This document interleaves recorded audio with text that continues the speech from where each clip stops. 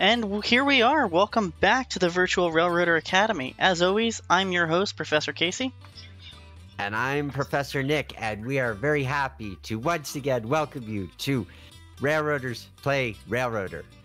I got Yes. the game right this time. you did get the game I right this time. right. Uh, I didn't get the stream title right, which someone has just messaged me, so I'm fixing that. Um, let's see, what are we tonight? We are um, youth in railroading. 207 as our course number for this evening to stick with the academic theme. And Mhm. tonight we are joined by two incredibly special guests that I'm thrilled to have on the show. We have Orion from the Naugatuck Railroad and Ricky from the TVRM. Welcome, guys. Thank you. Uh, hello. Uh, so, yeah, tonight we're going to be talking all about being young and being into trains and getting involved and what the industry is like and a whole bunch of stuff like that. Yes, tonight we are young, so we'll set the world on fire. Or set a steam locomotive on fire. well, And not the there, engine, but you, you get where we're going with this. there we go with our first dad joke of the evening. Oh, people are saying there's no sound. Oh, nope, there is sound. Okay. There we go.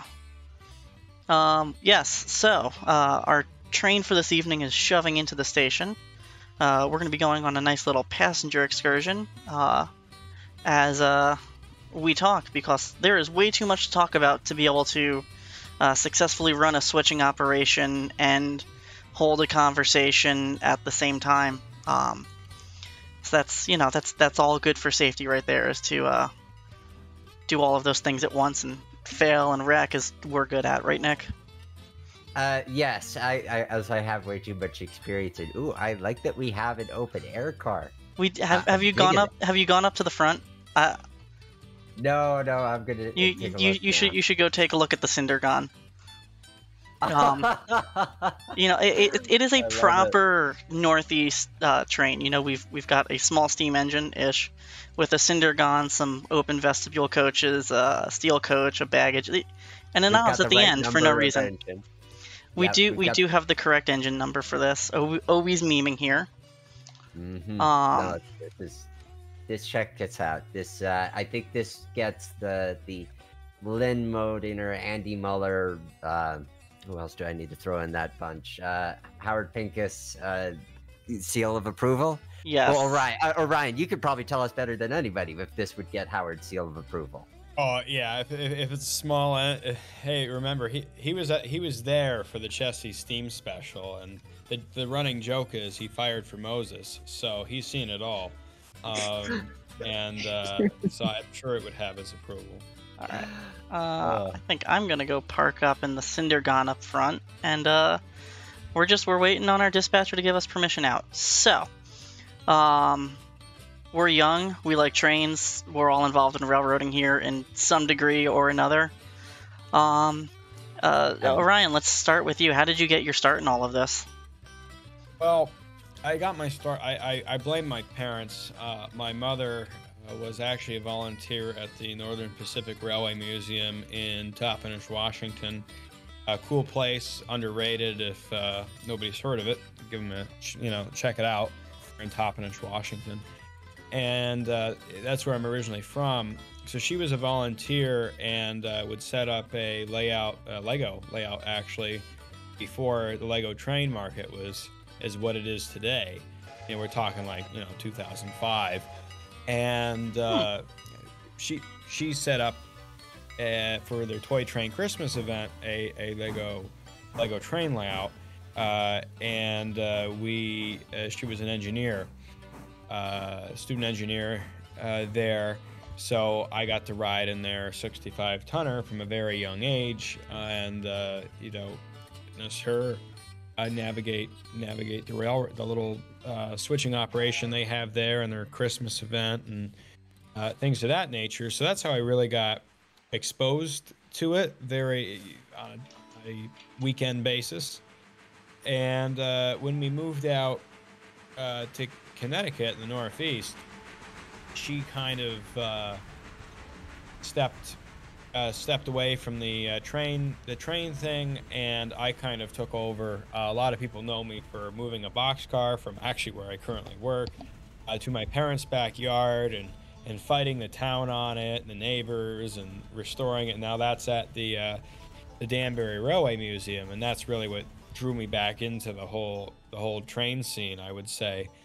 And uh, stayed in contact uh, with the Railroad Museum in New England and uh, the, Naugatuck Railroad. And uh, when I graduated school, it landed me a job. I was working at a sign company, um, which was a great experience. And now my full-time job, and it has been now for over four years, hard to believe, is is working here in in Thomaston, Connecticut. So I attribute a lot of it to my my parents actually, and to my mother for for being supportive and uh, uh, you know starting her involvement, which then in turn you know started my involvement.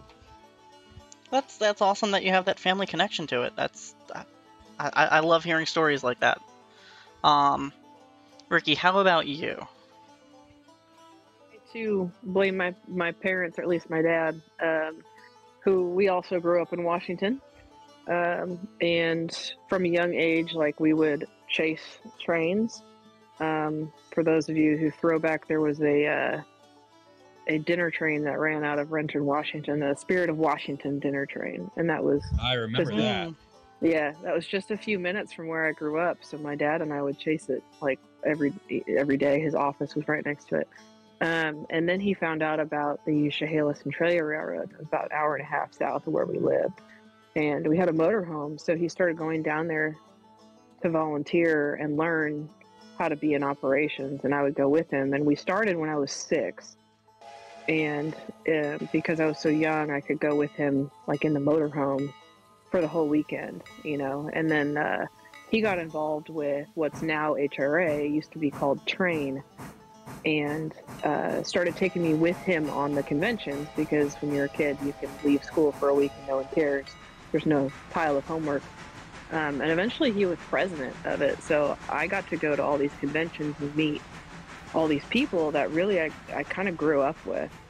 And um, I still just kind of stuck with Chehalis. I ended up getting a degree in computer programming, and um, I wanted to be a mechanical engineer, but I'm really dyslexic, and like numbers are not my thing. I mess up my letters. It's just a hard time being in school in general. Um, but I digress. Computers tell you what you do wrong when you're programming. It'll underline it. You're like, oh yeah, okay. Um, so eventually got tired of that. And at one convention, I was talking to Stephen Butler, and he was like, I'll hire you in Alamosa if you want. So I just up and left my job, went to Alamosa, started working in a steam shop. And that was really awesome. Um, but uh, it was Iowa Pacific. I'm I'm so have- sorry. they uh, they tried changing my benefits agreement six months into it to basically say we're not going to ever give you any, and Oh, that was at the same time. Yeah, um, that was at the same time that the Lone Ranger needed another person, and it was just a few hours away. So. Uh, Jason Lamb called me up and said, "Do you want to come be part of the Lone Ranger crew?" So I left Alamosa and went to go work on the Lone Ranger um, for a few months, and then I went back to programming as a um, database developer for like five years, and really had an opportunity to travel across the country for a different office position out of Atlanta, and I had always wanted to learn coal. So I said, "The heck with it, why not?" You know. Um, totally changed my life. Moved across the country, and then right as I got to Atlanta, my position was eliminated Oh, and yeah um, and it was for it was for starbucks actually at the time. It was the corporate office. So to keep my benefits i started working in the store which is no fun to be honest. Um, and uh, started tried tried to volunteer at tvrm and then ended up getting a call that said you know we know you had an engineer's license. Do you want to come work for us part-time instead of going through the volunteer hoops? I said I'd love to, and then COVID hit and Starbucks laid me off, and uh, I went to George Walker, who we all miss, and uh, said, "Here's the situation. I mean, I'd I love it here. I've been working under part-time status, but I've been putting in 40 hours a week anyways. You know, is this something you'd consider as bringing me on full time? And he made it happen within a couple of days, and I've been there ever since. And I love love TVRM. So that's the short, condensed version. Wow. I, I, I, like, I've known you've done a lot. I didn't realize how young you started and how involved you've been in the in the HRA. Um, like this entire time. Um, yeah, I was on the board for a little bit, but I just uh, it was when I moved over here too, and I've been driving, and um, it's just been a lot. So I stepped down because I was like, I can't commit any time to anything right now outside of just normal life. Um, but I do like most people that are there have known me since I was. I think we started going when I was eight, and I'm 37 now. So Wow, that's, That's the networking ability uh, within rail preservation is really there. It, it- it's amazing who knows who because just because somebody's in one part of the country doesn't mean they've spent a lot of time in another part of the country and you can, can and you might know people that you didn't know you know. yep, uh, I- I'm constantly blown away by the networking and just meeting new people and having conversation. It's like, oh, you you know them, like, oh, I know that, and then like all of a sudden you have like a new best friend halfway across the country that you didn't know five minutes ago, but you know all the same people, and you're surprised you've never met. Yeah, And- I, sorry Uh, to cut you off there. Nick. I mean, I think that's like what HRA. I mean, I met some wonderful people this year uh, in in Canada from uh, from California, and uh, now they're with the Oregon coast. So uh, when I plan my trip next year in April, now I got another another group of people to go see and meet in Oregon.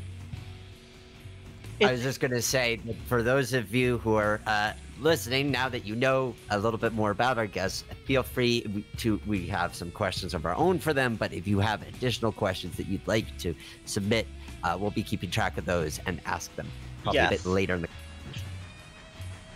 Um, no, it's I, I love that you end up like with rail like I don't I don't even want to call it rail fan vacations, but networking vacations where like oh I'm going here. It's like oh I know someone.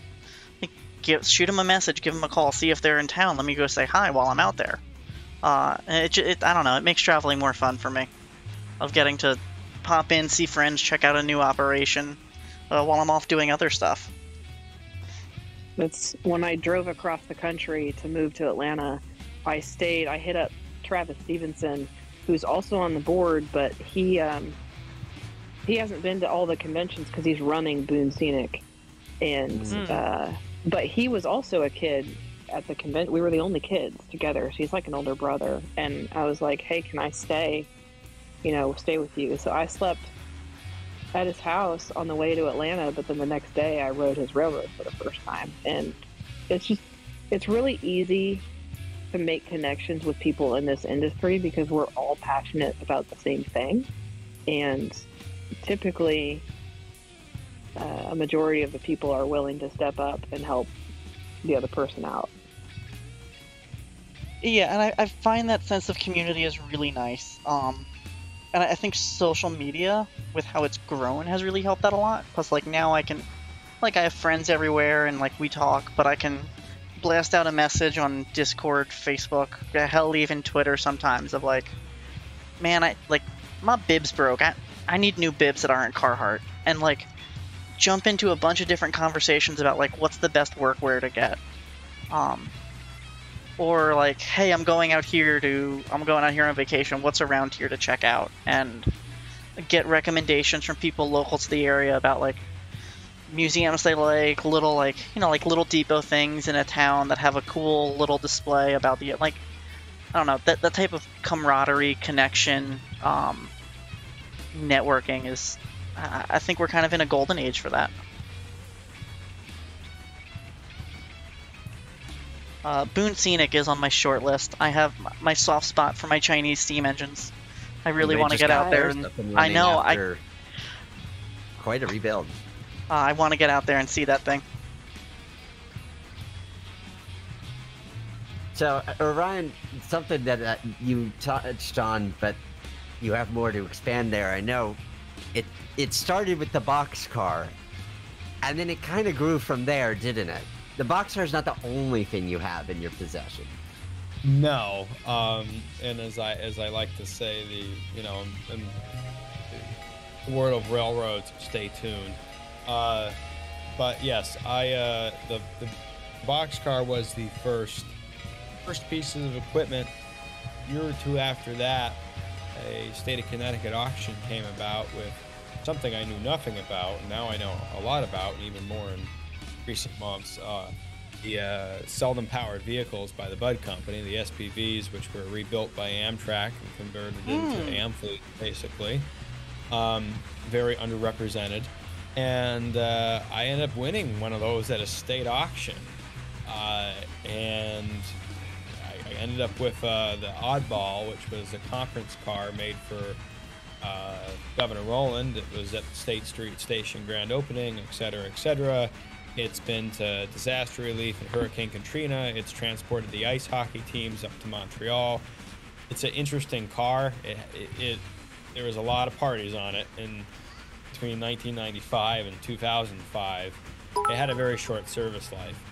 Um, after the state got uh, stainless steel cars from overseas, uh, they retired them, parked them, and the last thing they were used for was uh, disaster relief for Hurricane Katrina and Huh. uh, so they sat, they sat in New Haven Yard. Uh, the last time they were serviced was 2008. Uh, I knew nothing about them, but I went and surveyed, you know, what little knowledge I had of passenger cars at the time, and decided that, you know, this is the one. If I'm if I'm gonna buy one, this is gonna be it. And uh, I was able to borrow some money. Uh, and uh, at like 16, 17 years old, and, and purchase this this passion car. Simultaneously, I was working with the uh, RMNE Railroad Museum New England uh, to find a home for the 5111, which was a New Haven parlor car, uh, bar car that ran into New York. It's an MU car, uh, one of three New Haven MUs left, and uh, that was uh, sold to me, and I was able to relocate that to the Danbury Railway Museum. So all three cars are still in my possession. Uh, the box car is on long-term uh, loan, uh, long-term lease to the uh, Danbury Railway Museum. Um, there's some stuff going on over there with a, a lot of different equipment, a lot of interesting stuff going on, including some of my own. Um, and it's really been a cool experience because you know just moving that one passenger car you meet a bunch of people.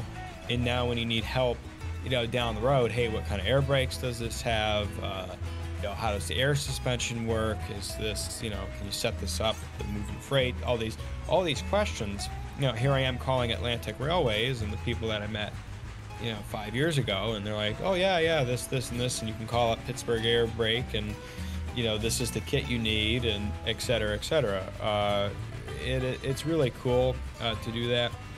And i didn't realize how much the boxcar would change my life but I, I have the job and and enjoy what i do now because of that. Um, and i attribute a lot of that to uh, uh, howard pincus and his and his willingness to somebody that's 15 years old at a time to have the faith in that to to continue. And that's one thing that I think we're big on. The Naugatuck Railroad here is is educating and uh, finding the next generation of who's you know who's going to take this place over eventually. And uh, you know Howard was a big part of that. Um, so I, I credit a lot of my uh, a lot of my uh, successful high school years uh, to that and the equipment that followed. And uh, he came up to the town hearing and touch on this quick talked about the challenges and more. Uh, Nick, well, when the neighbors appealed the planning and zoning permit for this boxcar to be in the yard to be restored, uh, Howard drove over two hours and came up to the town appeal meeting and spoke at it. And uh, he smiles at me. There was uh, two women from the field hockey team, and he's like, "Don't let them go." The fact that you have two two women here at a boxcar hearing at a town panel from the field hockey team was I could I could only have dreamed of that back in my youth. so I really got the community involved with this whole situation. Uh, it, sorry, do you want to go first, Nick? I was just gonna say, whatever opportunities there are to bring the non-rail fan public into our field whether it be to recruit them as volunteers or so forth or even just to be able to give them a better understanding of what we're about is always a learning opportunity for everybody not just for them i think sometimes we can look at it as oh we can teach them about trains but we can learn a lot from them too by way of bringing them in Mm-hmm.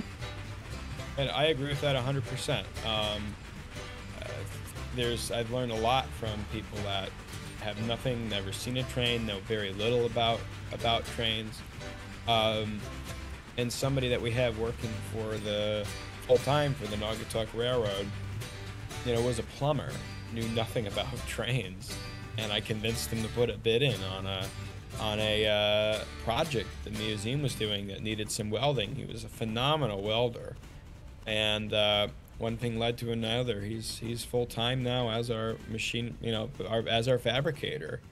Uh, and I went, you know, I met him originally on a school bus.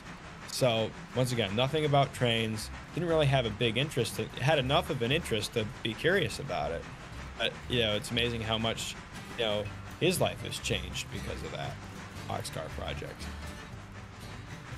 Uh, now, I, I, you mentioned um, the getting younger people involved and how much the boxcar brought people into the Noggy. Um, and we were talking a little bit about this before the stream, but just kind of the the age discrepancies or not discrepancies in someone's case here, um, throwing off the statistics of our, our of our respective railroads. And um, we, we were remarking, uh, Orion and I, how um, you know, it seems like there's uh, people in their 50s, and there's a weird gap in the 40s, late 30s. There's some people in the early mid 30s, and then there's a lot of people in their mid, early, late 20s or mid late 20s getting involved right now, and um, how nice it is to see that breath of fresh air and starting to see signs of how is the handoff going to happen uh, to the next generation which is uh, I, I know something at my railroad that's actively being talked about. Um, right. Yeah. What What are your guys' experience uh, with the uh, the kind of like how your railroad's evolving and prepping for that handoff and the the young folks coming in? Uh, Rick, you want to uh, take? I, I have some Well, comments on it. You want I'm- to take this one? I'm sitting here pondering um, because TVRM is such a large business now. Um, we're really looking for all types of workers here, and um, we already have a lot of 20 year olds on staff in the shop, and um, we have a lot of 30 year olds and 40 year olds on uh, all departments. I mean, we have we're we're kind of the exception here. So I'm sitting here trying to how to put it in perspective. So if I go back to volunteer days when I was younger, uh, it was it was also completely different. There wasn't any social media. There wasn't not really. Um, you had MySpace back then. Um, What's my so space? I don't. Uh, yeah. It, yeah. Oh, that hurt. Yeah. I know. Yeah, no, I know what it is. Um, so I don't know. I, I don't know that I can take this one because I haven't been part of a volunteer group in so long that my perception has kind of evolved on on that. Here, you, we're very much a big business, so it's hard to hard to say. Oh, I just realized The- none of us are volunteers. We're all paid employees of our organizations. And I, I volunteer at the. Oh, that's right, I you do. volunteer twice a year, so I, don't call me don't call me a full fledged volunteer. Vol- diet volunteer at the Pennsylvania Trolley Museum. Um, We don't bring in any volunteers though anymore, pretty much for basically for insurance reasons. Almost every single person we have, it, for the most part, unless it's some major event uh, or they've been grandfathered in. But we very rarely have volunteers now. Interesting. At the Naugatuck, um, and you know, just some backstory because I know there's a lot of people listening in that you know don't maybe have never even heard of us, uh, which is possible. There's people that live in town that still don't realize that there's a train here. Wow. Uh, but what's what's kind of interesting is so the Railroad Museum of New England owns 100% of the Naugatuck Railroad Company, which is a full-fledged common carrier railroad. Railroad retirement. I'm in railroad retirement. Any employee of the railroads in railroad retirement, um, and we haul freight and we haul passenger, and it's all overseen. I mean, it, the museum is, is the owner of the railroad. Um, but that that it makes a unique challenge because you have the membership of the museum and uh, volunteers uh, that want to want to be involved, and there is a volunteer base. Um, so most of our trains are actually 50-50. Uh, the train crew itself is generally paid, um, you know, because of the uh, uh, railroad retirement regulations that go with, you know, the drug testing and all that. Um, but for example, we have uh, you know some pretty talented uh, volunteers that do work in the shop, that uh, uh car host, uh, tickets, retail.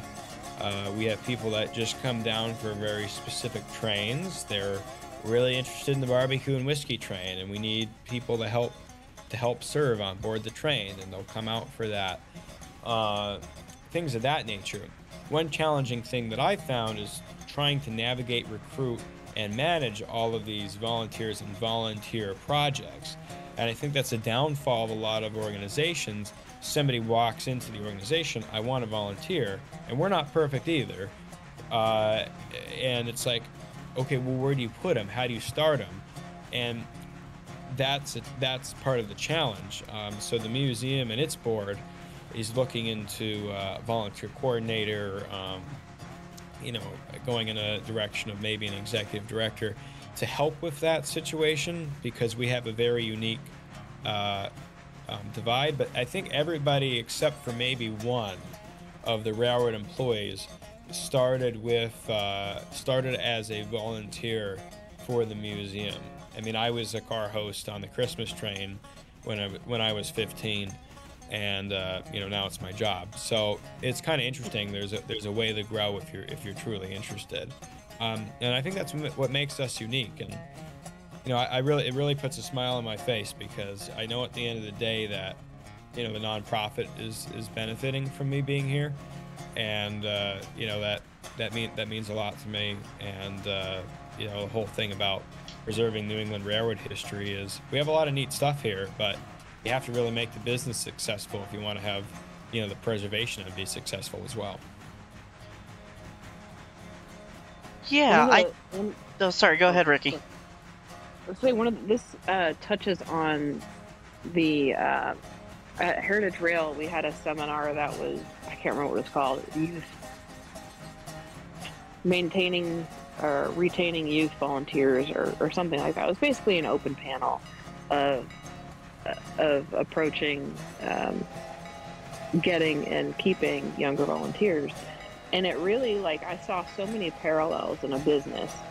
And from a management perspective, they're not just volunteers, but treat them as though they were employees too. Find out what drives them, find out what they're interested in, um, and, like, quote unquote, hire them for that specific position and then have reviews with them and check in with them just like you would an employee and uh, keep following up set goals and it, it, I found I saw a lot of parallels during this discussion. I'm like, well, if we treated them like employees and had some sort of employee plan, um, you have a lot of success because then the volunteers feel heard.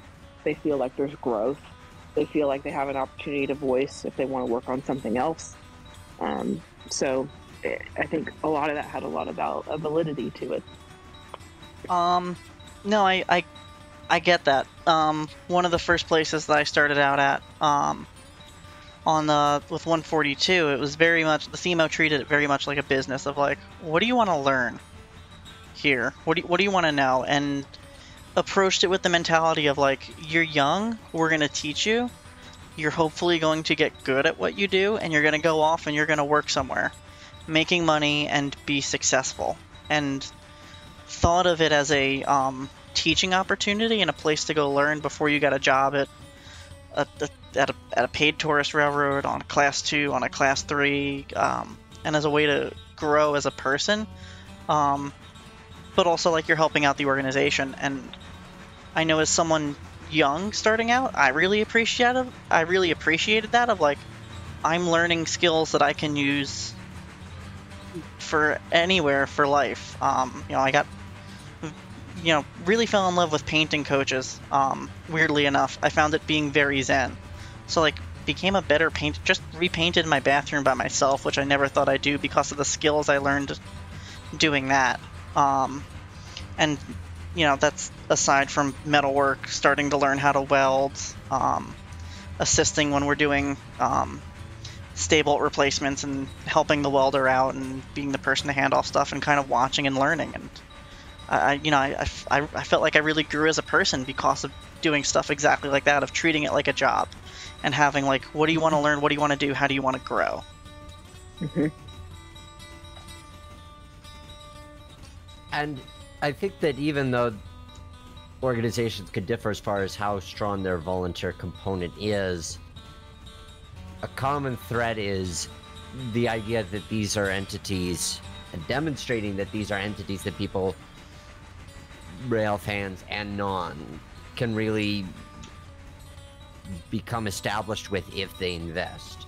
That they can develop and grow uh, skills through it. So if it's volunteer, they may not be directly building their career through it, but they could still be building skills that could apply to their career uh, depending on what they are looking to develop within that volunteer role.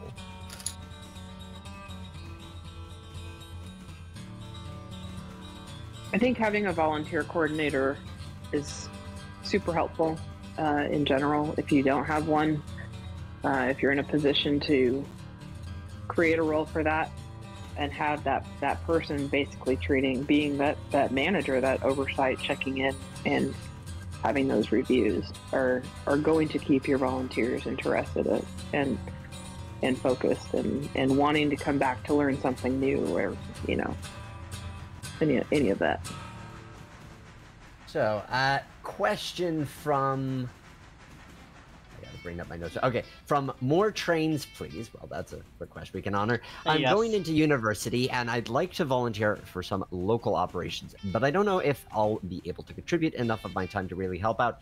Should I wait until I'm out of uni, or are there any other ways I could help out?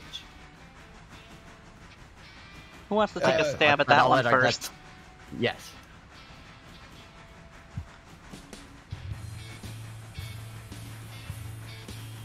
I guess uh, I mean I, I can go ahead and uh, Yeah, go for it. explain a little bit about that. Um, what's what's interesting is uh, there was actually there's actually a program, and you may be able I don't know where this individual's from, but you may be able to look at your local community college, even if you're not attending it. Some of these have uh, uh, some some connect some connection, meaning uh, to a railroad or have a program.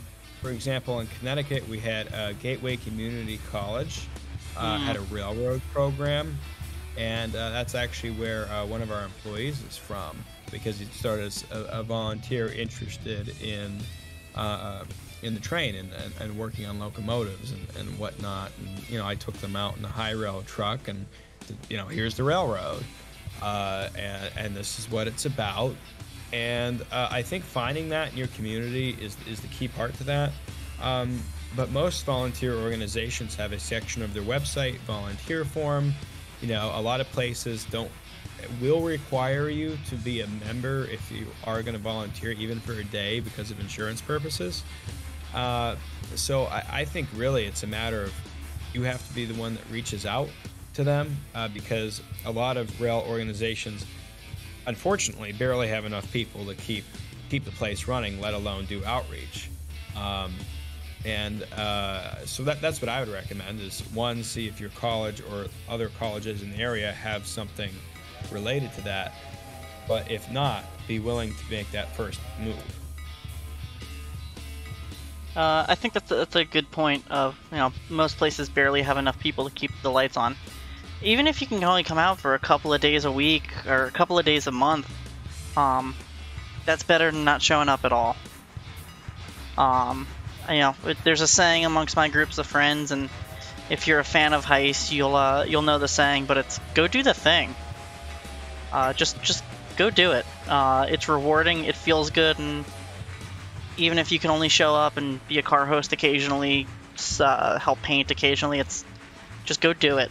Um, and and find out their like work parties. Some you know, it might not be operating days that they need your help. It might that they're putting together a Tuesday night painting party or you know whatever. So reach out, find out what their what their work structure is like and what they need, and whatever you can do, they'll they'll appreciate.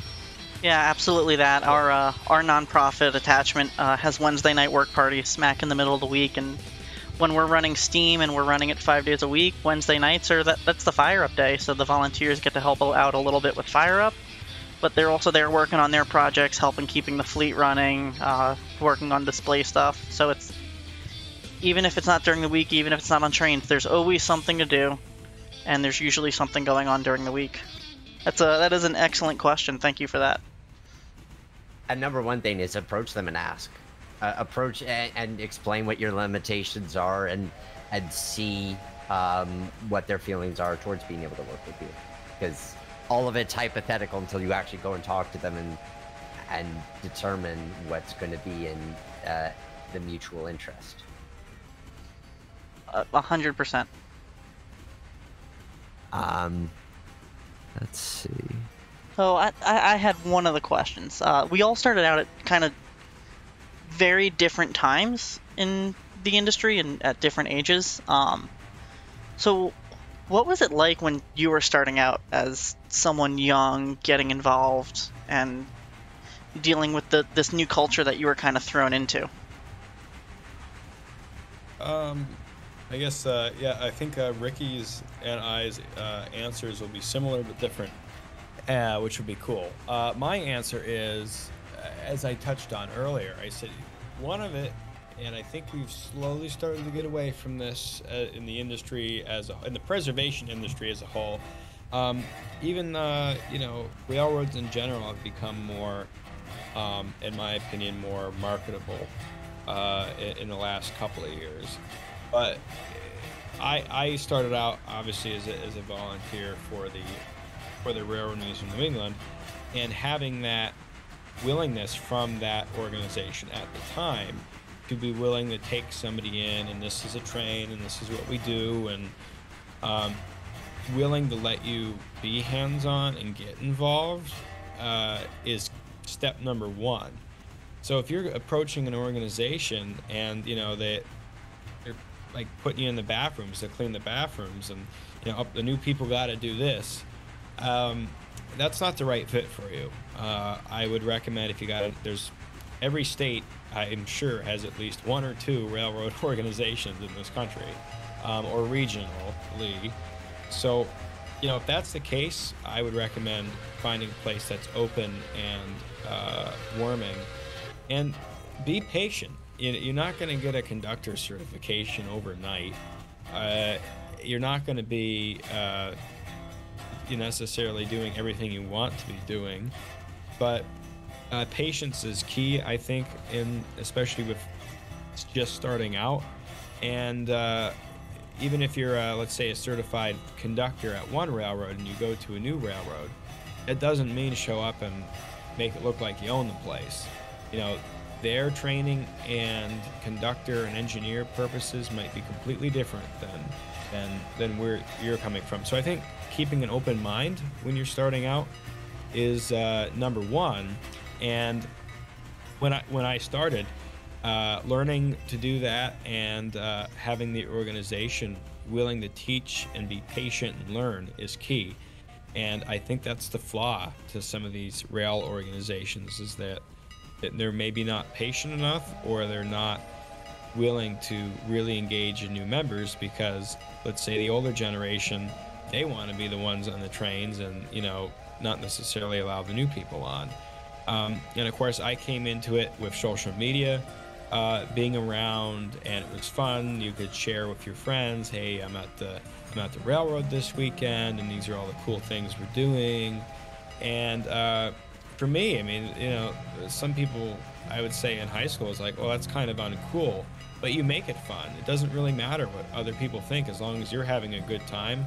And, uh, you know, I was. And I, I think that's another point, too, is make sure that you're enjoying it. And that goes back to what I first said. If you're not enjoying it or you're not feeling welcome, it might be time to find a new place. 100%. Yeah, don't don't feel like you need to stay in a place that's not treating you right. Um, don't be afraid to stand up for yourself either, but don't stand up for yourself too much also, because that's also problematic.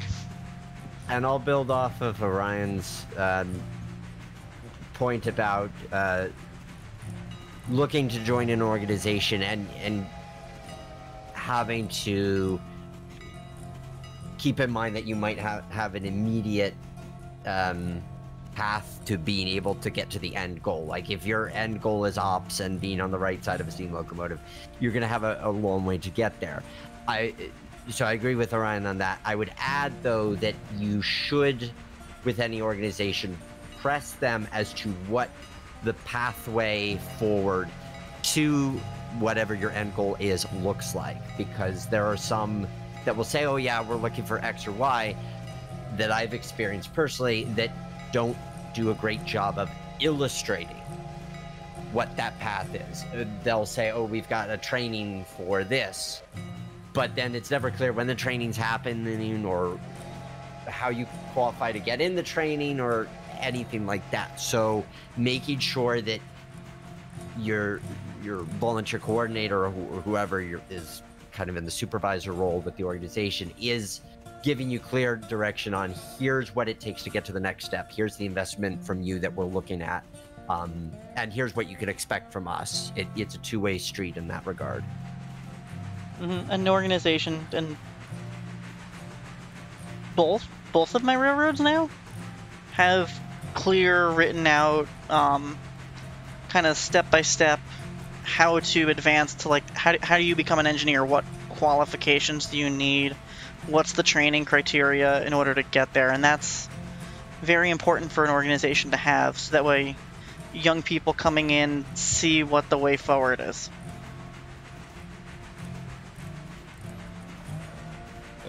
Now, I, I'm going to put Ricky on the spot here. What was it like?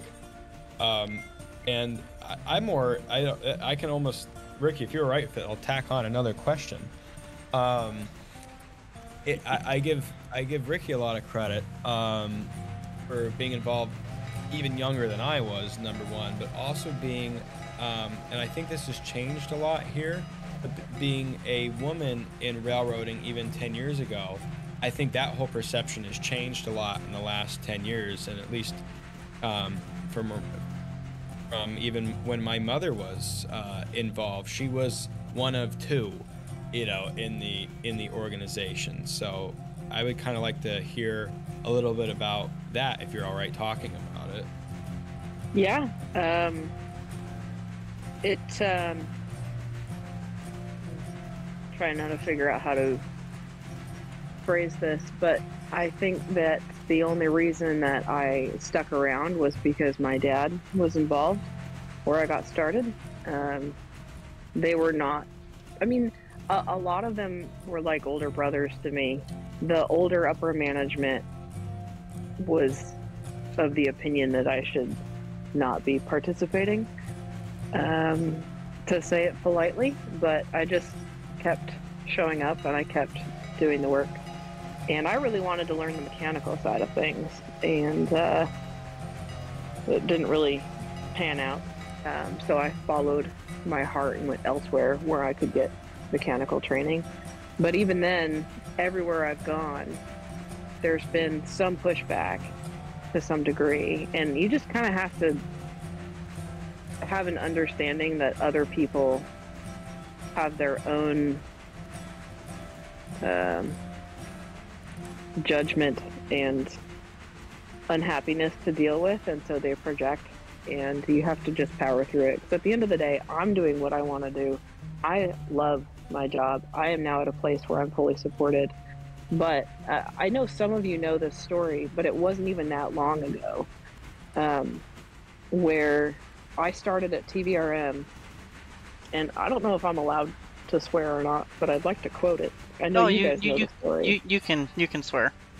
oh, cool. We uh Great. this this is Uh, railroaders. Cursing is encouraged. Well, yes, okay. Well, I've been polite, but um, my first day on the payroll at, at Tennessee Valley, I took a selfie in the cab at the 6:30. They had cut a shovel to my armpit height because the one that was in the 01 is like as tall as my head, and it was killing my shoulder. Jesus um, Christ, that's a big shovel. It was it Oh. was ridiculous. I was like, why am I having to swing my arm way back to try and like? And I hadn't fired yet. I had no idea what I was doing yet. But they they like one of the guys took the time to make me a shovel that fit so that it was easier to learn. And I don't. My post was like, I'm so grateful to be here.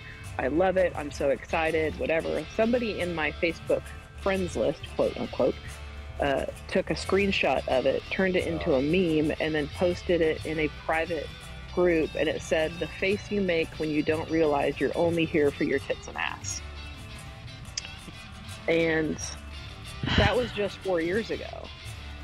So have we made it come a long way? Absolutely. Are there still people out there that will hunt you down because you're a woman and for some reason that's threatening?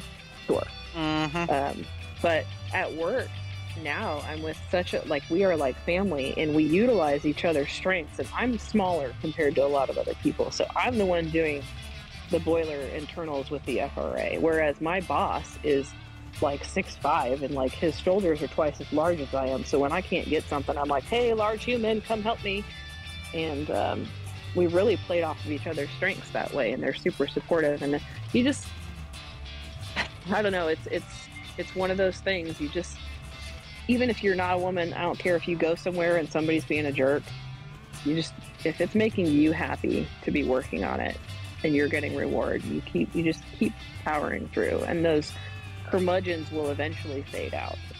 Mm-hmm. Um, similar experience, and I think what was helpful was, like you said, having people who kind of watched out for you and watched your back. Um, my first railroad, there were still people that I talked to who would watch out for me and help me out and show me things when I was getting passed over because I was a woman.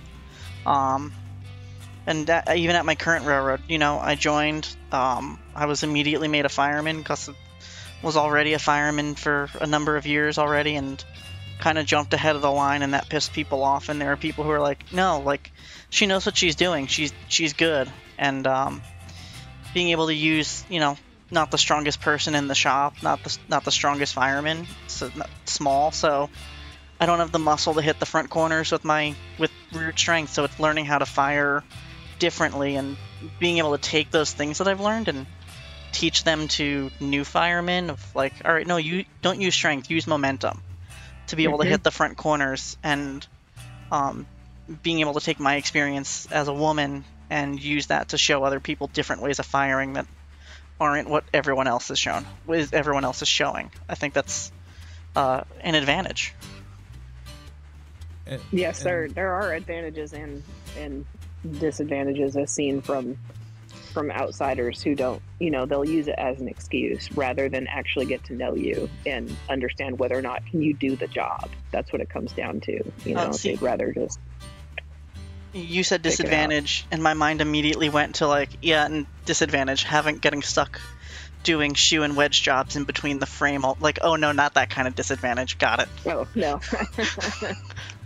um, but still quick- quick- disadvantage And you guys touch on a very important point. You know, the sense of, and back to my earlier point about, um, you know, if, sometimes you have to realize it's time to move on. If you know, if it continues to be a, you know, uh, in a, and more in a volunteer way, but you know, a, a toxic environment. But I give the two of you a lot of credit, um, and uh, not to toot my mother's horn, but you know, being the only woman that was interested at the time uh, to do what she was doing.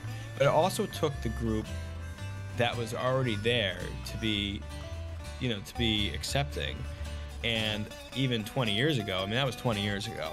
That was that was a rarity. And I, I remember, like at 10 years old, telling people, "Oh, you know, my my, my mother was, uh, you know, is a train engineer, or did this, or did that." And they would be like, "Uh," you know, just look at you with a blank stare. And the part that uh, Ricky touched the base on um, community and the people around you and supporting you and having each other's back. Uh, that's something that here at, at the Naugatuck we've been able to capture and do well.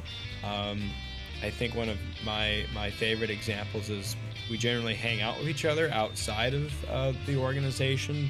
Uh, one of my uh, coworkers is moving, so guess what? We all took the day off and we moved. You know, we moved. I hate moving, but we uh, we moved him out of his uh, apartment and got all the company trucks together. I mean, it was it was an outing, and uh, you know, I think that's important. You know, we have we have something great with with our people, and uh, it sounds like a lot of other organizations have a great group. Uh, unfortunately, and I'm sure we can all name them, there's organizations and even railroad companies out there that unfortunately really really don't have a have a great support group or a great group um, are very uh, short-sighted and uh, you know it, it'll all come out in the wash you know give it 10 years and I'll, I'll leave it at that Mm-hmm. Uh, I- community's so important. Nick, go ahead. well, this is this is a case where I I am a man, but I have very very strong opinions on this, as as followers of the Roundhouse podcast will know. um, so the shortest version of my thoughts I can conjure is to say, you know, Ricky, you, you talked about your experience and, and that being from four years ago. My um, adventure into exploring the topic of sexism in rail preservation, which I did on the podcast, um, was two years ago. And, and the short version of that is I put out an anonymous poll for people to submit stories, uh, for women to submit stories of where they might have encouraged um, harassment um, or sexism or, or negative judgment or, or factors like that. And the stories were were very eye-opening in their own right but it was also the the response that i received uh, online. It was very very mixed. I mean there were people who got it people who were supportive. There were people who accused me of lazy and unprofessional journalism. There were people who said that it wasn't scientific enough. I mean it, it so even as a as a white straight guy trying to tackle this issue i i received criticism for that.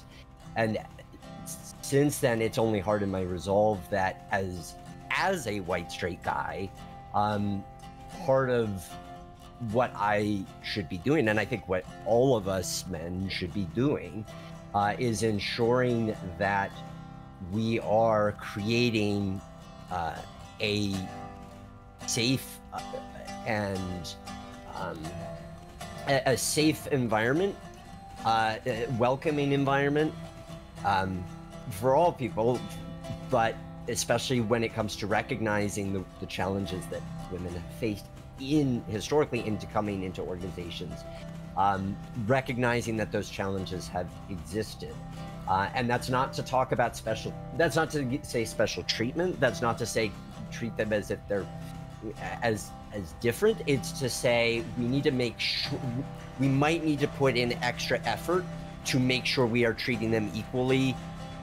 And that's just that's a self monitoring that's that's through conversation. Um, that's for for me personally that's about making sure that the, the, guests that i have on my podcast come from a diverse background um, but and when they do that that what we're talking about is talk, focusing largely on their skill, their skill and their experiences and their stories, um, and only you know, occasionally touching on the sort of as a woman, what do you think? Um, but that's something that I very strongly feel about that that all of us guys, you you joining us here, you know, uh, as we're riding our train uh, in Railroaders tonight, that's something we can all make sure that we're part of is is creating that better future and creating and making sure that we're being properly inclusive. And i think fortunately um, when i see the nature of these conversations i, I see a lot of um, emphasis on inclusivity, especially amongst younger uh, preservationists. So I think that the trend is absolutely going the right way, but it's a continual process of of checking in um, with with tho- those of diverse backgrounds in our organization, um, with our friends, to, to make sure that we are doing what we can as allies to this effort. I know that wasn't much of a summary. I am strong feelings, but believe me, that was a summary. it it it definitely plays into a bigger um or, or the same topic really that I'm fairly passionate about and that I we talked about in this youth seminar at HRA which was accountability and it really frustrates me when I don't see people being held accountable for their actions just because oh they they're the expert in this field. We can't run them off. We're going to let them con- we're going to let them continue to be jerks to everybody. We're going to let them continue to make all these remarks. Hey guess what? You just lost five volunteers because this guy is a total asshole to everybody. And but you're you're too afraid to get rid of him or say anything to him or anything. And it drives me crazy because i see it almost every single organization there's one person that you're like i don't know why they're still here but they are. And anyway accountability accountability accountability because that's like if you want retention of good people you have to hold everybody accountable. And that's that could be said for for young and not naive but uh, inexperienced you know somebody we've uh, all like met that 12 year old that knows everything you know that wants to come in and is really passionate but like they like try and tell you that's not how you do it. And so you have to be respectful with them but tell them that what they're saying is also not respectful and that you need to listen to each other. And um, and you know holding even the younger kids as they grow and learn accountable instead of just running them off. I've also seen that too. Ah we don't like them. They're annoying. We're going to run them off instead of teaching them hold people accountable that'll not the answer to everything but in my mind it is That's yeah. Any, I've met a lot of new people who are new. They're excited. They're you know, we were all there. We were young. We were excited. We we thought we knew everything about trains, and I always try and talk to them. Uh, you know, chat with them.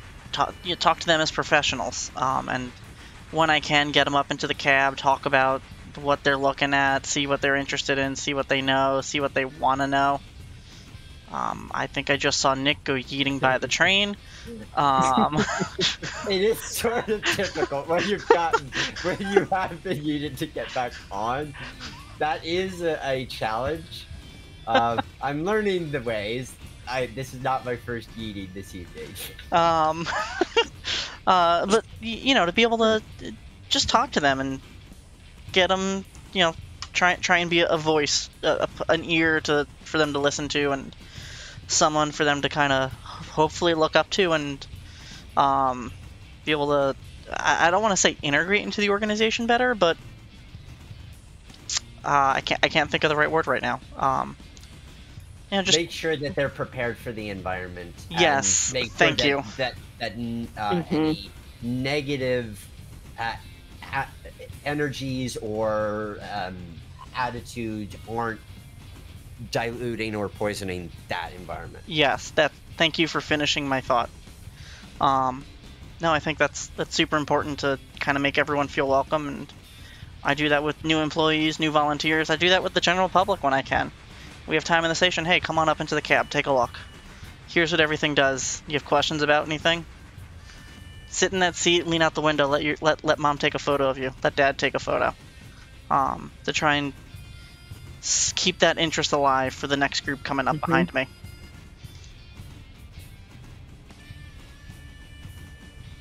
and then every mom on the railroad, every mom with her kids is like, "Oh my God, this is so cool that you're doing it!" And I'm like, "Hey, we're hiring. We need firemen. How close do you Mhm. live?" And moms, I- I've seen this trend where moms are becoming uh, part of rail organizations because their kids have an interest or because they see it as something positive for the kids. Um, and and valuing their, uh, you know, I, I'm thinking of our, our mutual uh, friend uh, Lucy Dormont, Yes. um, was now the social media. It was the executive director for Meridian Rails uh, in Meridian, Mississippi, uh, and is now the social media manager uh, and development person for the National Model Railroad Association.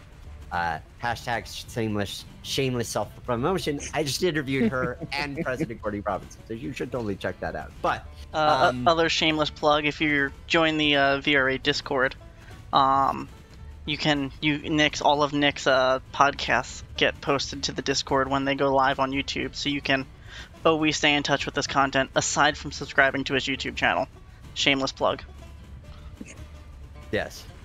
But turning the uh, spotlight back to our, our current guest, simply to say that yes, I, I think that it, it's great to hear that yours are both organizations that are actively involved in trying to ensure that you have positive, constructive uh, environments um, that are fostering each of your developments, um, and that then you and your roles uh, hopefully uh, are having, and maybe this is something that you can talk to, is in your roles so far, have you found yourself in position to being able to pass on your knowledge or um, or your expertise or helping others? I mean, Ryan, you mentioned the the welder that you you, you were able to help, right? But for both of you, what are other uh, cases in which you're able to apply these philosophies? Yeah, and I, I think that in uh, also applying these skills and uh, in the train, tying it into the community, which is what I talked a lot about at um, HRA, was about tying your operation into community and, and different ways to do that. And that, that all starts with one having the right people. So I, I think going forward, there's a really good um, I think the industry as a whole is changing, and I think it's going in in the right direction. But you know, there, there's unfortunately some, uh, there's places that I would really love to see succeed, but they just don't have the right people or the right draw currently to make it happen. Um, like I said, uh, unfortunately, that'll that will come out the wash eventually. It'll come out in the wash, um, and uh, you have to be willing to take chances and organizations have to be willing to take risk and chances and you know there's been some ideas i've had here and thought this would work. Let's say a passenger train or this event idea and it, it, it, it works or it really wasn't good or and you learn from that. But you got to be willing to first make that jump and leap of faith because sometimes it backfires on you and sometimes you have like the greatest thing going. I mean one train that we run is a barbecue and whiskey special that was kind of cut, came together on a napkin inside the station and we're like well let's try it. We got we got the time and you know execute it. And now it's one of our very popular events. Um, and we got some really great people involved because of it. Uh, it's just because we're running a barbecue and whiskey train. So and, and that's a challenge. I know there's a lot of broad, very broad um, group on here, uh, but that all comes, that all circles back to having the right people, the right group, and being willing to be welcoming, um, and having a plan, and having it be fun, and not, you know, we're just going to put all the volunteers on stripping paint today, and we're going to do that for six months. People are going to get bored and leave and you know you have to be you have to be aware of that Um, I just forgot my thought. Damn it. Well, well, while you're remembering Yeah. about Ricky, uh, how about you uh, at TVRM or any of the other uh, entities that you've been part of? Um, for like development, we um, we've hired welders. We usually reach out to our local um, technical college, and not for our like boiler welders, but for our everyday uh, fabrication. We reach out, and we've gotten a few people from the local college, and then they end up staying after they graduate. um, they've moved on, but they, they stay with us for a while. And then we have a rail camp um, that we have a, a varying levels of rail camp. They have like just for the day, and they're like six years old, and it's adorable uh, for the whole week. They come they come every day. Um, there's like eight of them with a couple of, of counselors that, that work here, and um, and then they get a little bit older and they start spending you know longer days or even overnight. And then we have full on teenagers that stay inside one of our cars, and the whole day they're doing work type stuff. Um, it could be anything from stripping paint to working on track with the track department, or uh, it's, it's kind of random. Whatever it's like, whatever they feel like tackling. But then they'll go take a train ride up at Hiwassee or. Um, but we've we have several employees now that are from rail camp and that are just adults and loved it here. And so a lot of our development here has been uh, either they grew up here or we reached out to local community. But um, again, we're kind of unique because we don't have any volunteer events. like everyone gets hired. But the nice thing is here is that they will train you. You don't have to have, unless it's for something specific like welding or machining. Like a lot of our train crew just had no train experience whatsoever. And we started them at the bottom and we have several conductors just in the last couple years that had no experience. So that's how kind of we are at, at TVRM. Uh, I remembered my question that I had, uh, or comment question combo I had for Orion. Um, and it was, uh, you, you mentioned, damn it, I lost it already. I'm I'm and, gonna I'm gonna go over here and Nick, you can pontificate on something. I've been having a day. I only had two cups of coffee today instead of three, so I'm I'm I'm doing what I can right now. Oh well, I most certainly could pontificate. Although I I will again try to, to keep the attention appropriate. Yes, yes. So, um, so with each of your organizations, um, what what was most surprising um, in terms of because so much of, of rail preservation is the gap of what we perceive it to be like on the inside. Like when i go to a tourist railroad and i, I see the crew at work versus actually being in the inn. So for each of you what was what was particularly surprising or, or did you not expect when you made that transition from this is something that I'm, you know, hopping into or uh, to, like it, this is something that I I see I've seen like you know come up in national discussion or that I have an awareness of to I am part of the thing. Um, well, I guess uh, I mean I'll uh, you know touch on this. Um, uh, starting off as a volunteer, and my position at, at the railroad company has changed or grown um, uh, from when I first started. I mean, I started out on the track, putting putting ties in the track, and that was a summer track project, uh, and learning about curve geometry. And now I'm a licensed track inspector, but I'm also a licensed conductor as well. Uh, but what my shift more recently has been, and since 21, is uh, taking over the passenger operation, which the general public I don't think realizes how much goes into just just running a scenic train. Everything from getting the crew together, having the ticket server, having the, I never thought I would be so well versed in merchant services on the back end of a credit card processing. I had no idea what goes on there. You know, now I could tell you exactly what uh, what the fee is and who runs this, and that there's the middle guy, authorize.net, and and it took a long time to transfer certain things over. Uh, so I've learned a lot. You know, I never thought I'd be so well versed in that. I'm insurance, uh, what it.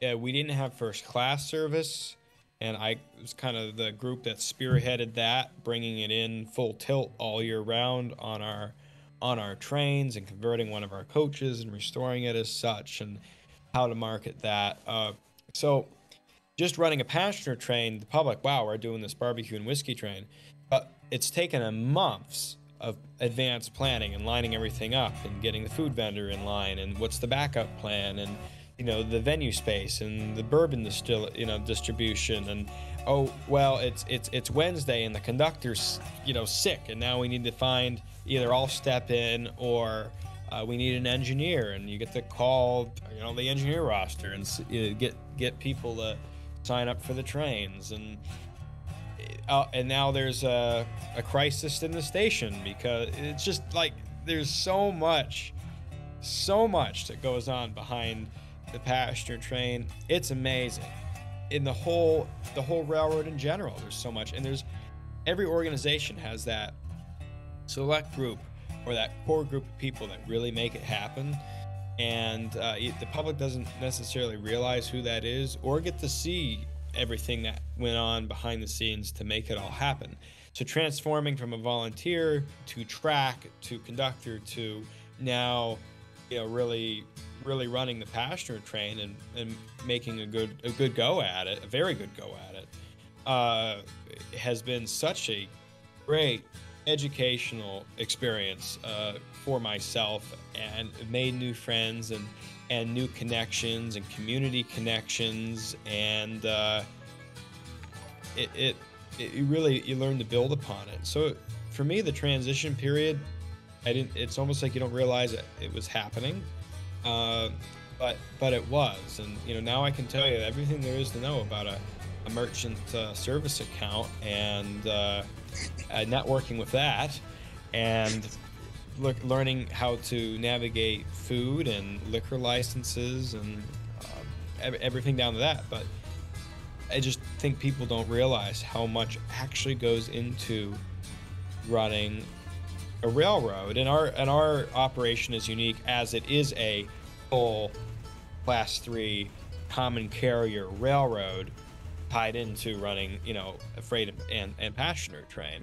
And I know TVRM is similar. Um, uh, Aberdeen, Carolina, and Western now with their passenger uh, operation, but it's a very unique situation and with unique situation becomes a lot of learning and understanding on how to make it all work.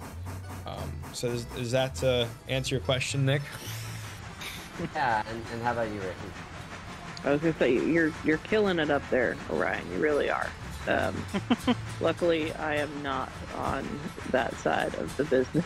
that is, I am the the grease monkey and uh, just listening to all the things that you just described i was like man i'm so tired like you can't imagine having to juggle all that but at the same time i'm, I'm juggling all the mechanical sides so i totally get it um, the uh, the transition for me was crazy and i can't i don't know that i can pinpoint one thing that really sticks out but Chehalis Centralia was um, like the same 15 people most of my life. And um, the mechanical experience was the guys did the work during the week um, because they were retired. And if you wanted to learn anything mechanical, you had like not go to work or school if you wanted, you know, so you just couldn't participate. And then when I went to Alamosa, I was only there for like six months and literally within the week that I first started, the whole shop staff quit and moved. so I was literally in the shop by myself for a while. Um, and that poor engine sat there, you know, I got laid off. Um, I actually went back a second time on, for some stupid reason for like two weeks and then they laid me off. But, anyways, um, so I went back to programming and then when I got to TVRM, I was really just blown away because I had visited in like 2011, and I was like, "Wow, this place got it together. They got it. They got it all." Like, but I had no idea what went into it, and, and just how massive it is on the back end. We have our own track department. We have our own depot department. We have our own educational department. We have our own upholstery shop, uh, carpentry shop, uh, a sheet metal shop. Um, just all these factors that go into it. But when I got here for my transition, is uh, I was originally just operations, and I kept asking if I could get in the shop. And within four months, I started working in there. And um, as I developed, my boss was always I, I'm I'm pretty straightforward, and I just tell you what I'm thinking. And I'm like, I want to learn how to do that. I want to learn how to do that. I want to. He's like, you can't learn it all at once. You need to like slow your roll.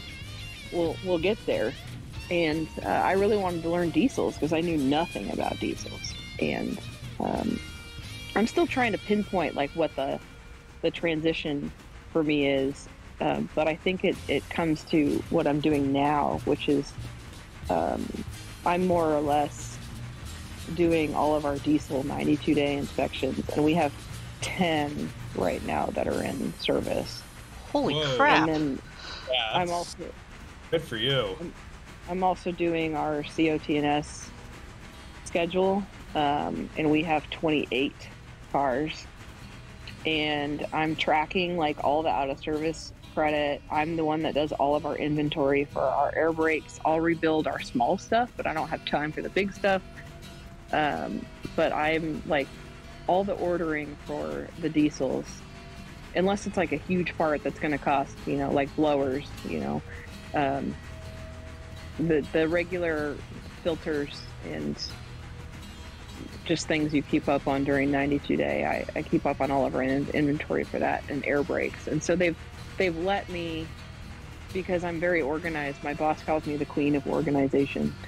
Um, and when we have a new area to develop he's like i want you to come up with how you think this should be laid out. So they've given me the freedom to organize and plan and now i have a complete structure in place with because i had to bring in my database development of course.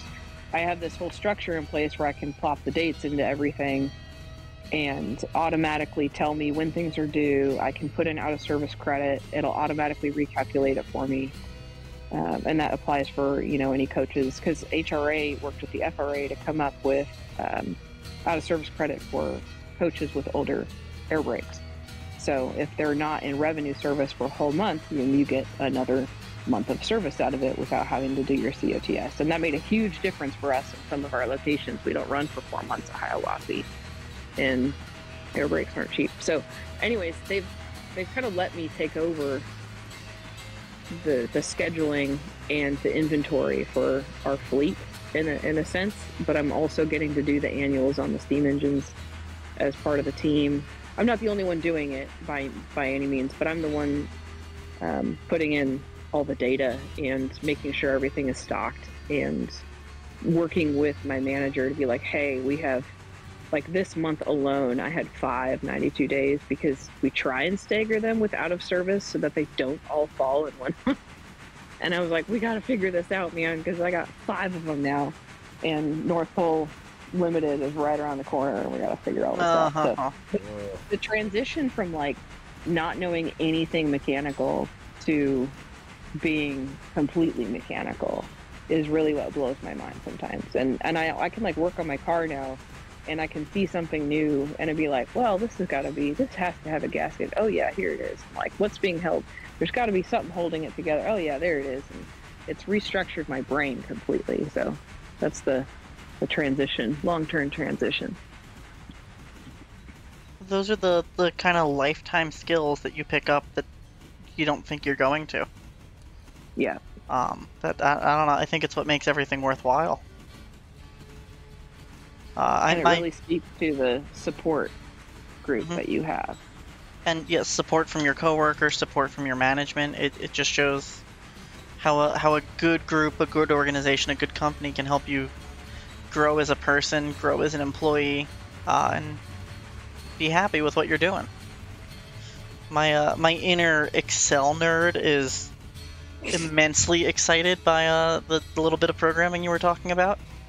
Uh, Oh, we, we- yeah. we will That's- have to talk later more about that. when I was uh, I smacked my I, I was getting up on the front of the steam engine and I looked right at the headlight and I said I will not because the door was open and I said I will not stand up into the light. I will not hit my head on the light. And of course, what I do, muscle memory took over, and I Oh, stood yeah. straight up and I rammed the top of my head into the the headlight. Well, then I jammed like my neck together and caused like some contusion. So I was on light duty for like three weeks. And uh, so I reorganized the office, but then I was like, I'm going to create a database of our entire fleet. So now, if you put in like a certain locomotive, it'll tell you all the filters it has and whatever information I can randomly glean from it the next time I'm there. I'm like, oh yeah, it has these solenoids for the, the sanders, and like, you know, just so that way, if something goes down with it, I can just pull it up and go grab what I need off the shelf without having to be like, what does that one have again? I don't remember. And uh, I'm picking away at it. It's not complete, but it's like my total nerd happy place when I'm in the office. I'm like, oh, I wonder if I can pick away at the database for an hour today. But that does have, that hasn't happened in like a year. I honestly I haven't been able to touch it 'cause we're so busy.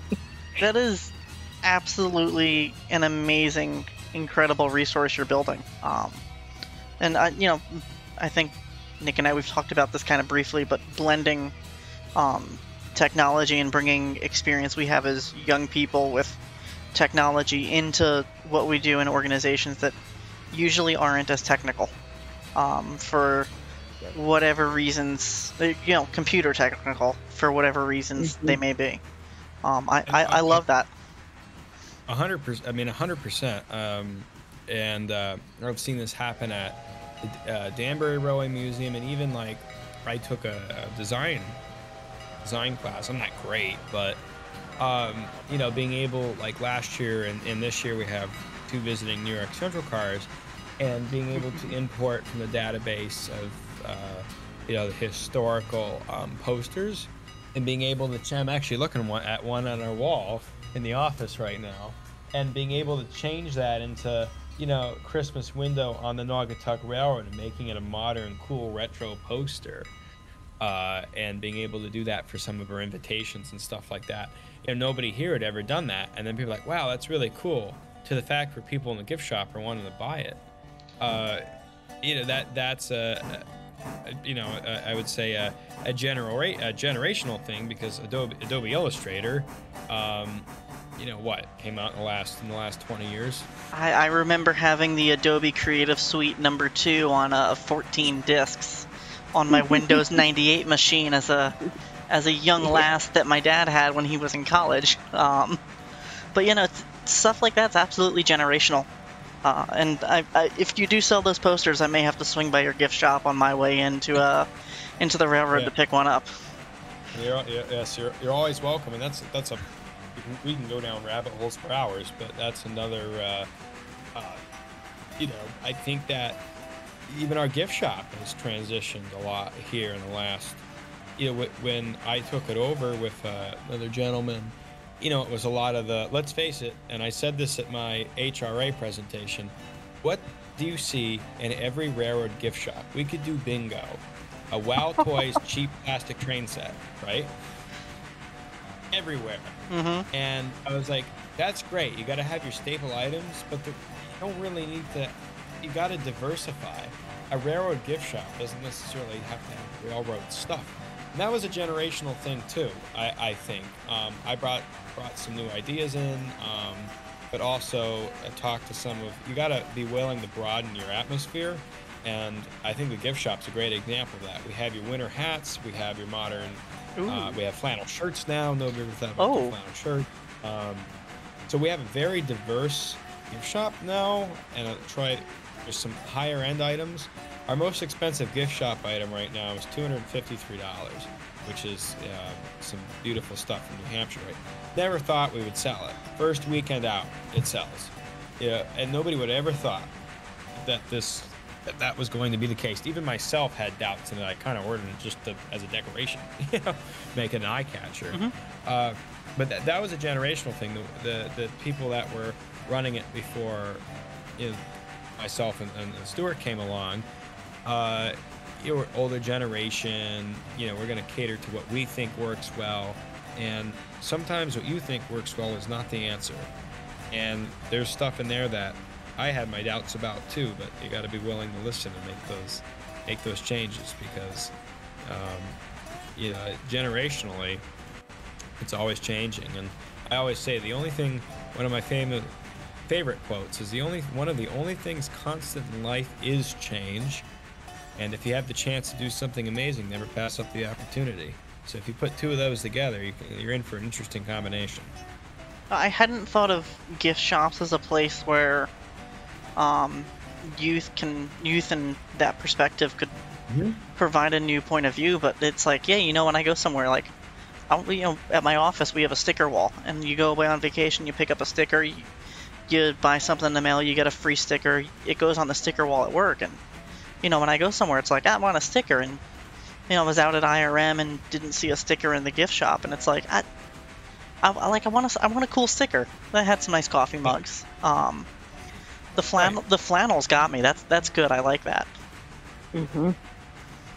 So it's it's diversifying, and you know, like it said, that that's a great thing to come out of this tonight. You know, your, your gift shop can be generational too, and I think that example of like not having stickers now, you can buy stickers in our you know ours. People, I mean, our, I see our NR stickers. I'm at the HRA conference, and people have it on their on their on their coffee mugs or their their travel thermoses, and it's kind of cool to see that. Oh, here we are in in uh, you know Montreal, and I'm not the only one that has an NR, you know, sticker. Uh, it, it's it's pretty cool, and a lot of it has to do with advertising and connections, and um, that's something that Ricky and I touched base a lot about, and will be touching base more about, is like HRA.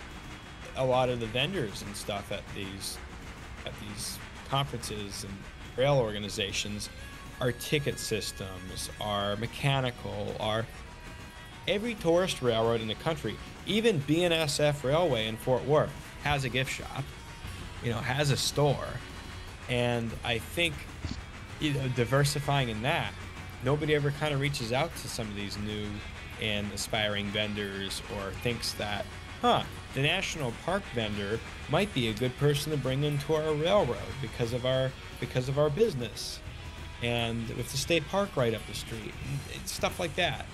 Yeah. Uh, and uh, that's like I said, that that's a rabbit hole. But talk about generational. Your gift shop is, I would argue, is just as generational as the operation would be. Uh, I, I don't want to keep pontificating on gift shops too much, though. I do love swag as much as the next person. Yes. No, Uh, I'm sorry. But Web, was, uh, are, are, do you have a web store set up for your gift shop? Because that's one Uh, thing I wish that I saw in more places was um, web stores for the gift shops. Because you know, usually you know, I got friends. I like to buy them Christmas presents and send them a little something, and you know, get get them something from a railroad I know they like, or a museum, and a um, a nonprofit history organization. And a lot of these places don't have gift shops. It's you have to go into our museum to get it. Um, yeah. that is true. And we work with our ticket, our current system is set up, and we actually have the gift shop on the back, on the back end. They go live on the website, and um, of course we're right in the middle of trying to get ready for Christmas. oh, aren't But- we all? Yes, and uh, but, but but one thing with that is we once again we go back to having the right people and having enough people to make it happen. Is is I'm trying to set it up and get ready to go live is finding out the fulfillment schedule and who's going to manage the emails and all this right in the middle of you know our, our, one of our busiest times of the year uh, because as you, the online market now if you order something you want it you want it now. You know you want it in two or three or four days. Yeah. uh, so you got to stay on top of that. And i think that's a i think that's the downfall to a lot of railroad organizations is you know you, you almost have to have somebody that is is dedicated and is in line with that. And uh, i'm working on that uh, here in thomaston in our online gift shop. Hopefully we'll be live in the next few weeks but you know we we, we won't you know it, it's uh, it's making sure that that plan is going to be absolutely executed well and uh, for the people listening in uh, you know sure take that back to your organizations Uh, yeah, take definitely. That is uh, one of the.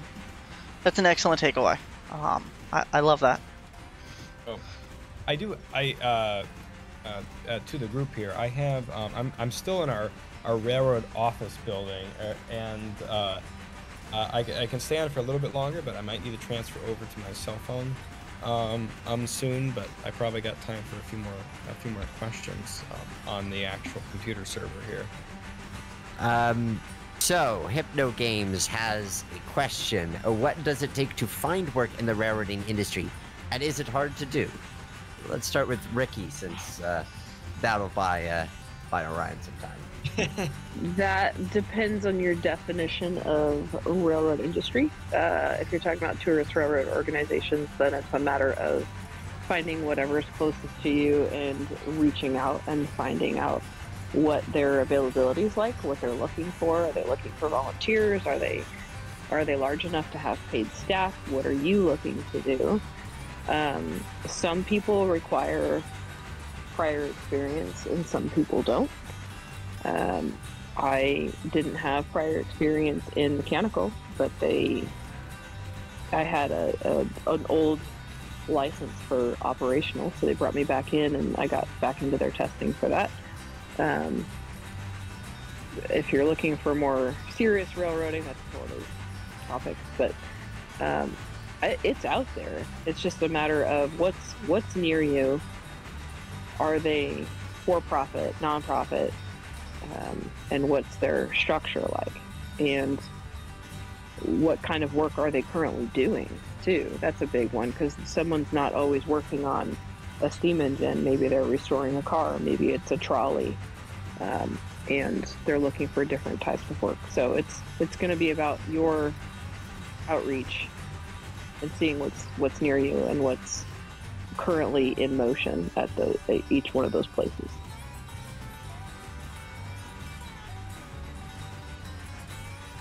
And I don't think the work is hard, given the right support. Anyone can be taught anything. Anybody can do the work. Um, so that's that's my take on. it. I don't think the work is hard. Do I work really hard some days? I'm sweating profusely and I'm just totally exhausted. Sure, but um, I think, I mean, is it hard to find? I mean, I could be misinterpreting. I, I took it as, is it hard to find work in the industry? Ah, it can be. It just Can it be, depends on where you live. If you're living in the middle of Pennsylvania, surrounded by like six different organizations, it might not be. But um, if you're out in, oh, I don't know, what's a good state North with nothing? Dakota? More Montana, you know. Yeah. It, it yeah it depends on where you're at. Or in northwestern Pennsylvania, which is not the hub of rail preservation, unlike pretty much any other part of Pennsylvania. Well, north you- central's also pretty bare, but Not the the 25 square mile area of northern ist eastern ish Pennsylvania. Well, yeah, I, there's there's that. That was an Yeah. hour away from me, though. That was too hard to get to. Yeah. Uh, the the Northeast Railroad Museum, which is a nice museum. Oh no, I I meant the like 25 square mile where there's the the 13 railroads that all have steam engines and tourist ops right next to each Oh, other. oh, that, That- one. yeah. That's, yeah, Yes, that's yes, completely that- other end of the state. Yeah. Yes. Yes. But I think it. I don't think it's get it's hard. I'm kind of an optimist when it comes to this. I don't think it's hard to get into a place if you lay out what you're looking for and you have an open discussion with what they're looking for and finding out if that's a good match and um, going from there. Um, I've I haven't really seen anybody turn away unless you're like you walk in and you're like, I'd like to run the steam engines, please. And they're like, okay, you have a nice day. Um, because that's all you show up saying that you're willing to do. Because we literally just had somebody drive into our shop this week and they, were like, here's my resume. I'd like to run your steam engines. And that's that's all they had. And we were very surprised. And we were like, well, not quite how that works here, but we appreciate you.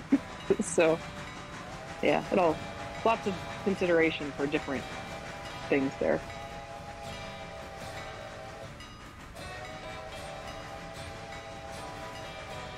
Uh, you know, it's, kind of our favorite saying amongst the friend group. Uh, just go do the thing. If you find a place and seems like a good fit, go go do the thing and have fun doing it. I think that's the the best way of putting it. Uh, to sum it up to a single phrase. Um, and Wobblebee 1242 writes, "I'd like, I'd really like to volunteer at my local museum slash restoration shop, but I really don't want to get treated like crap for being trans." I hear you. I agree. Yes, all the things. Oh god, that's loaded. Um, Very. yeah, uh, it's uh, being uh, in the LGBTQ community is incredibly tough right now. Um, I, I understand, and uh, I, I can empathize. And um, you know, there's there's a lot of good places out there that'll really surprise you. Um, and I wish I could say I know what all those places are, and I, I know the places around me that are LGBTQ friendly, and um, it was wonderful during Pride Month this year, driving in to go run at six, seven in the morning, and pulling in the start of June and or start of July, start of June, and seeing Pride flags out on the platform for the first time ever. Um, knowing that it was a safe place well before then, but seeing that publicly displayed, and I wish more places would be like that, so that way more of us in the LGBTQ plus community could feel comfortable going places and getting involved. Um, I, I wish you the best finding a place. Um, and uh, yeah, I, I, I really don't know how much what else to say about that. I I I- empathize and I understand. I, I don't know what to say. I, I think I think now is a good time to introduce uh, our audience to the thing that Oh, do you do you want to plug the thing? I, I want to plug the thing. I want to plug the thing, um, which also our guests uh, have some awareness of uh, too. And the thing is something that I hope can, in the long run, address a lot of uh, your questions and, and concerns that you've been bringing to us. Uh, the thing is called Next Generation Railroaders. It's a nonprofit organization that's in very early days at the moment, so you kind of it's a watch this space type of thing. But a nonprofit organization with the mission of connecting people into rail preservation on a volunteer front, on a career front. That is something that uh, is the the mission. It's this is the first national nonprofit in rail preservation sphere that's mission is based around the development of people. It's not about equipment or history, and those are good missions, but this is about people and developing people. We're putting this together. Um, the, the the there's we, there's a number of educational components that we see to it and networking components, but the one that I, I love to tell people about is what we're calling the Certified Mentor Program, which is where we will uh, so anybody could become a member of any age but people uh, between the ages of 18 and 45 can apply to be connected with a mentor who has gone through a background check and training. Um, they and uh, ngr works to pair that applicant with a mentor and help them based on geography, uh, skills that they bring, skills they want to develop, um, what type of operations they'd like to be involved with, all these factors. And so that uh, way, then people are, are growing in this, the fields that they want to grow in. Um, so that is something that, and I bring this up at this point as to say that per what I was ranting about earlier about uh, how much I feel strongly about um, making rail preservation um, on a national front more inclusive and, inviting. Um, we are going to make diversity training part of of the uh, part of the training process for certified mentors. Um, we want to make sure that there is, uh, and we are going to be very out there saying that we see our organization is developing all people who want to have their skills developed. So, our hope is that um, so specifically uh, for folks like Wobblebee who want to ensure that they are being connected into an environment that will be accepting of them, our certified mentors, they need to be accepting. Like that, that is a criteria, absolutely, in my mind. Um, so watch this space. But that's something I'm super stoked about, and I look forward to presenting more on that in the coming months, um, including how all of you guys can be part of that. So stay tuned on that. Uh, if, uh, oh, I'm- thank you, Flying Scotsman fan. I'm glad you think that sounds really cool. Um, yes, uh, and Ninja Cat um, it is uh, uh, putting in some notes in the chat too, which I appreciate. Uh, getting uh, a lot of we have to get this up and that up and running, but watch this space. Or, I am I am proud to be involved in it, and uh, I look forward to helping create this wonderful organization and move move the industry forward. Get get more young people involved. Get them into places that are safe, and get uh, you know help help organizations grow and become better spaces. Um, I believe we're gonna. Yeah, Rudy's uh, Rudy's saying that now. We're gonna pin the uh, NGR website over in the VRA server, uh, Discord server, and uh, if you're not already in the server, question mark Discord or explanation mark Discord in chat should trigger the bot to uh, bring up the Discord link. So you can join the server and you can find the link there after the stream ends. and you- certainly, I I hope that both uh, once we get the, the CM program up and running, that both of our guests uh, become certified mentors because they would be excellent at that. I would love to. I need to get. I need to get moved. Well, this is we got a lot of stuff too. This is not an immediate We've thing. we've talked about before, but I'm like I'm all for it. I just uh, I gotta get settled. But then I think that's I think it's a great idea. I really do. Yeah, pe- it's uh, like like I said the multiple times, and you know the people people change change is a constant, and organizations need to be be adaptive and and, and willing, and I, I think that's part of what you know uh, the younger I would say the the younger generation has has done a good you know done a good job on, and uh, it sounds like uh, with this. Uh, uh, organization coming to be, uh, you know, I think it can only help grow the industry, um, you know, in the in the youth, and I think that's great.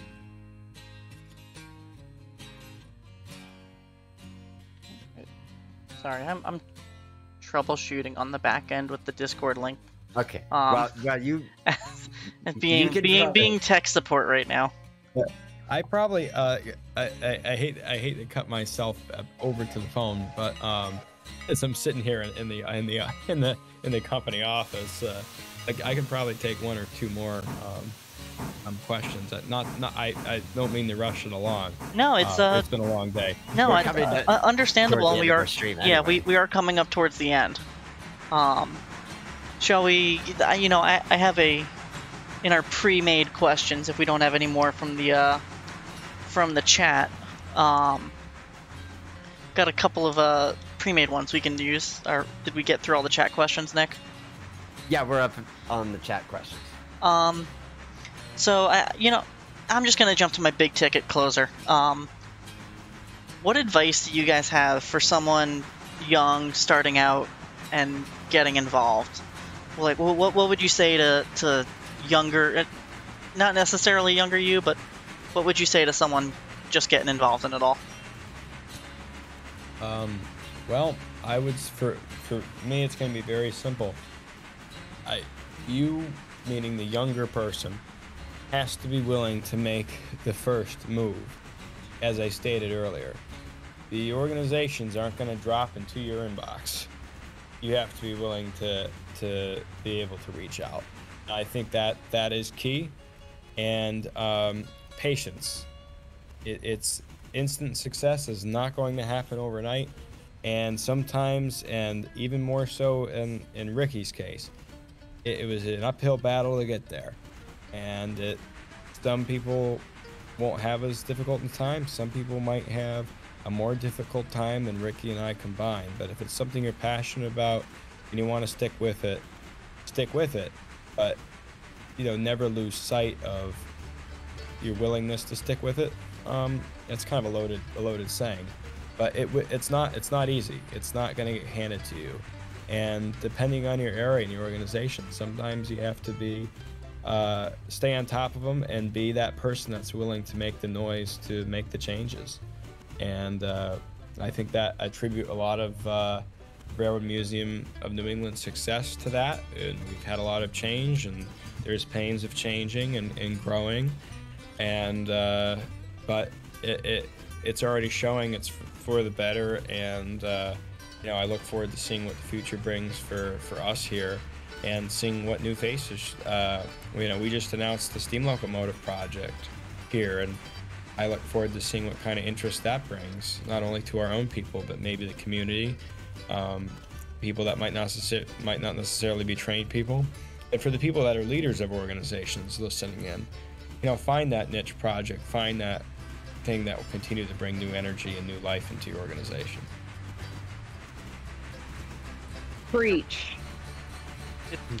Snaps. How do I follow that? you know, I almost made a I almost made a comment when we first started. I was like, man, I don't want to follow him. Like he just you're just so eloquent. Um,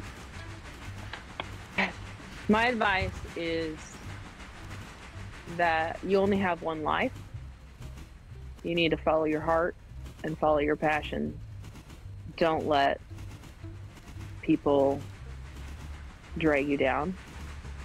Um, just show up and do the work. Like I, it doesn't how many matter how many people told me I couldn't. Um, I showed up and I did the work. And when I was given special opportunities, a lot of people made fun of me and used me being female as the reason. Um, but they didn't know that I was showing up and doing the work on the back end. And that's why I was like, you know, shout out getting to run the 4449 for a photo run by. I was showing up when I was a kid to the shop with Doyle, and um, people just assumed it was because I was female. And you just, you can't let it, don't let things get to you um, as best you can. Show up, do the work, don't care what they think. And it might take a while, obviously. Like, I'm 37 and it's taken this long to get to a point where I'm completely content with where I'm at. And uh, I'm not making as much money as I was programming, and I'm happier than I ever have been. So, um, yeah, I think the same could be said about all aspects of your life, like relationships too. Um, but yeah, follow follow your heart and don't give up. That was both of you absolutely beautiful, and the more I hear about what each of you do, the more I like. I we got to meet up in person, grab some hard cider, and sit down and just talk. Um, Yes. because I'm I just I- I- love. I love hearing you guys talk about what you do and how you've helped your organizations and all the cool stuff you've done in the past. I I, I love it when my when uh, guests on the show blow me away, and um, uh, yeah. I, Nick, do you have anything else? Y'all have been great. This has been fun. This yeah, this is this absolutely a fun time. Um, if you guys can make it, if you can make it to HRA, you know, and talking about hard, hard cider and drinks, you know, there's always an after party. ah, well, you know, know, if you're gonna twist my arm like year that, we had a great, we had a great Can I- group. I had to, K- Orion, can I rat you out? About Oh like, yeah, go for it. speaking Sure. of speak, speaking of friendships that have blossomed, is this HRA? Uh, Orion was staying at a different hotel, and we were uh, at the banquet, or well, not the banquet, but anyways, inside with vendors and whatnot. One of the meetings, and they have drinks, and uh, we got to a point where we weren't sure he was going to make it back to his hotel by himself. So a group of us walked him back to his room and uh, made sure he was in his room. And then one of our other friends that I met loaded him up with a bunch of waters and left him in the bathroom, like all loaded up all the cups in the room of waters. And it was just like a total bonding moment over, you know, and we would have never met otherwise, aside from HRA, I think. Well, no, oh yeah, no, because I went to uh, visit y'all through another convention, but I can't remember what that was. ah, that was the one I Okay. I didn't I didn't get chosen to work on that one. Yeah, that's right. Yeah, yeah. Anyways, so And, and uh, to throw it back at you, Ricky, I'm surprised some of you made it back to your hotel. yeah, well, we're we're old and experienced with drinking, so we've been drinking at HRA conventions for a long time. It is a skill at those uh, at those to be able to keep Yeah. up. Yeah.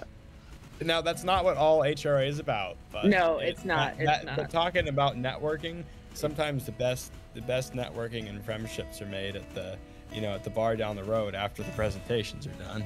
Hundred hundred percent. In, Yeah. in every industry, that's where all the networking is done.